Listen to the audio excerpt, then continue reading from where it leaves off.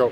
Summary day two. So, we reviewed this wrist cut, which is the mandritto. We reviewed band reversal. We reviewed the half reversal. And we reviewed the raddoppio wrist cut. Then we did all of the wrist cuts and their defenses and their provocations. Then we moved to the half wrist, the half cuts.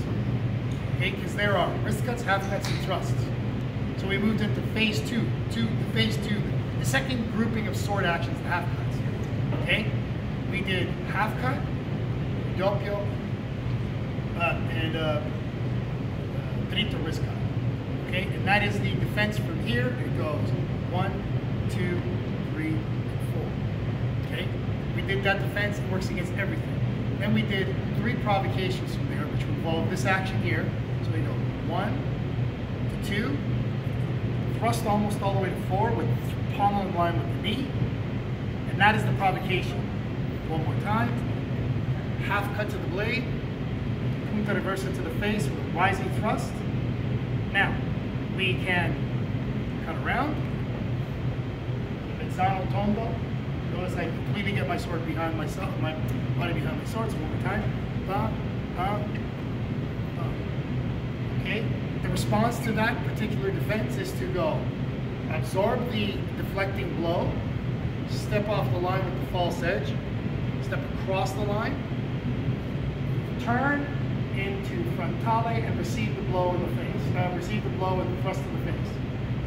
Over time, boom, boom, bam. That could also be executed if you're under pressure, boom, boom, bam. You cut down.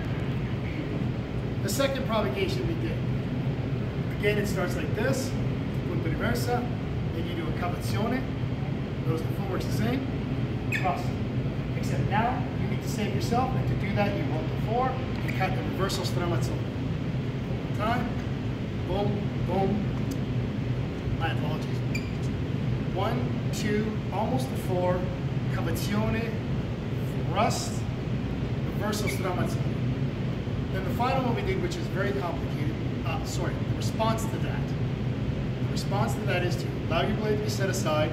Once again, cover with the false edge against the, the reverse against the reverse point while you step across the line. Turn and cover against the thrust.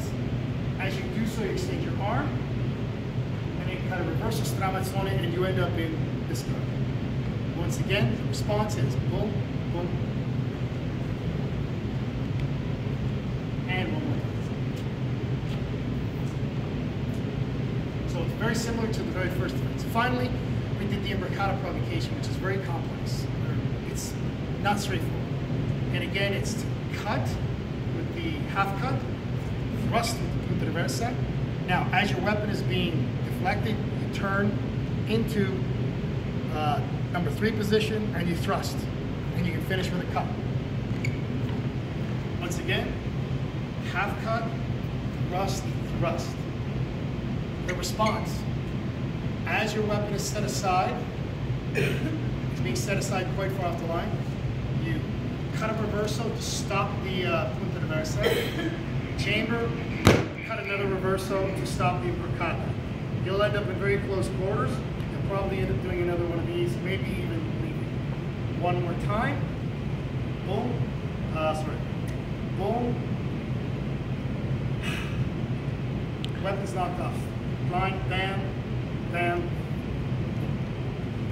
and that's it. And um, before we finish, uh, for those watching from Guelph or any uh, uh, Stratford, Digby, Ottawa, the uh, the these provocations are done against the matching guards, Oh, right? yes, all provocations are always against matching guards. Because provocations break guards, so you have to start in the guard to break the guard. Okay. Thank you. All right. Thank you.